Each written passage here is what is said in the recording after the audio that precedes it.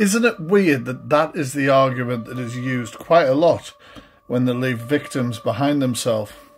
Not that it was untrue, even though you've been desperately trying to tell everybody in me comment section that.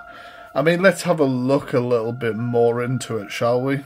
You actually threatened to do that after she dumped you, and you were handed a two year restraining order. Yeah, they just give them out, don't they, for just anybody. I mean, a guilt trip like that to try and. Wow. But of course, there's a lot more information here, isn't there?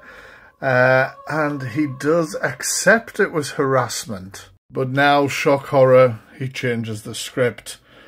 I um, I know exactly what I think of you, um, and I'm sure a lot of other people do now as well.